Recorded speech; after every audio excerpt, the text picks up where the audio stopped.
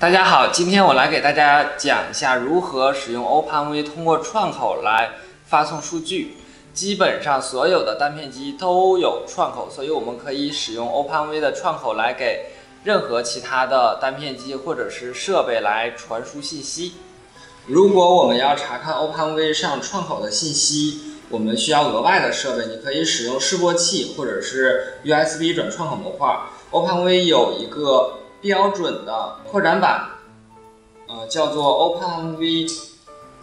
串口调试扩展板，它可以直接通过呃这个 USB 把数据传到电脑上。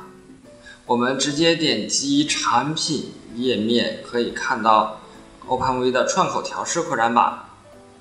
然后啊，这里面有它的信息和引脚的连接。然后我们这里面有一个青铜串口助手的软件，我们需要先安装这个软件才能查看上面的数据。然后它是通用的系统，你可以在呃无版图 Windows 或者是 Mac 上面都可以安装，直接点击，然后就可以安装完成。这里我们已经安装完，我们可以先打开它。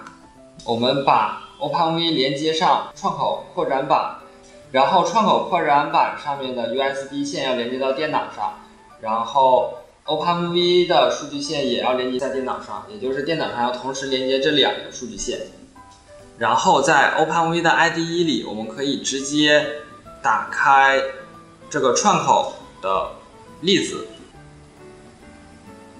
我们可以直接发送。然后我们在青铜串口助手上面连接 OpenV 的扩展版的这一个设备，呃，是这一个。然后这里的波特率和这里的波特率要对应。比如说这里是幺九二零零，那么这里也要是幺九二零零。点击连接，然后你就可以看到这里面有数据传过来。然后每当有数据的话，OpenV 上面这个灯就会闪一下。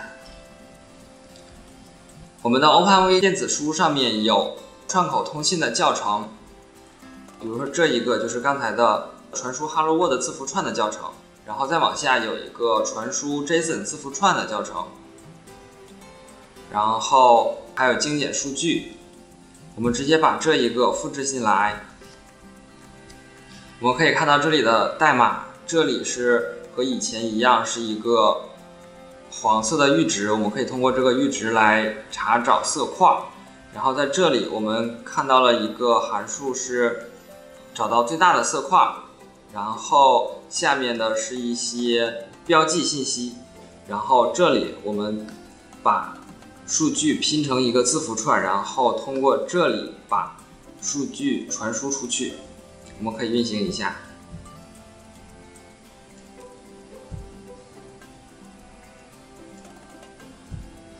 啊，因为这里的波特率和刚才的不一样，这里的波特率是是幺幺五二零零。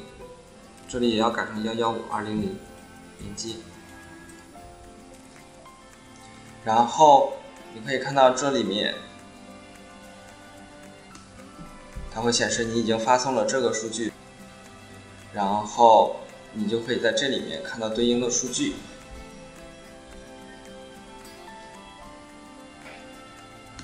啊，OpenV 的串口使用非常的简单。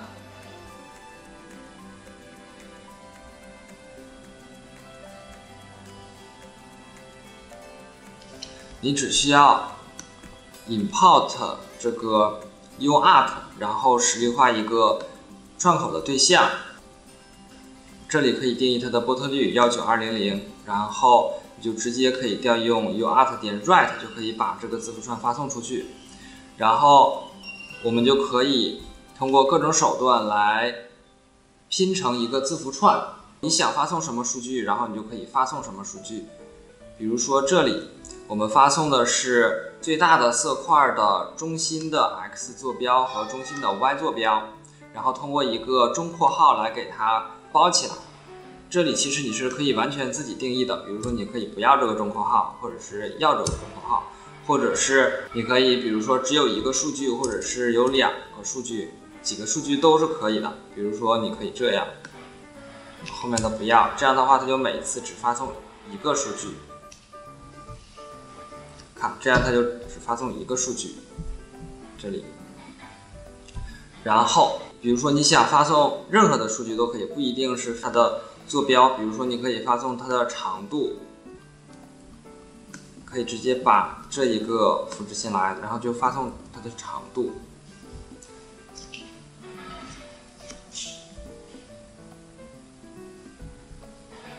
你看这里，它会发送的一二三四这样。OpenV 处理字符串也是非常的方便，然后可以直接使用这种格式化的方式。这次的教程就到这里了，下一讲我们会介绍如何使用 OpenV 来接收数据。